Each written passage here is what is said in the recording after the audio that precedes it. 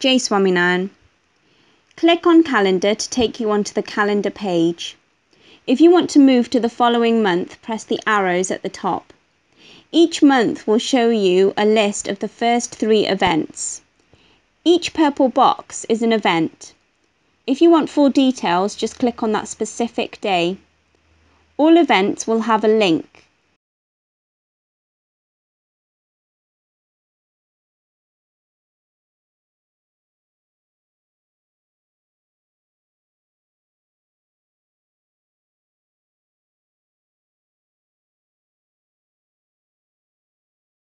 I'm going to click on Harrow Patotsav as an example and this will take me to the Harrow Temple website.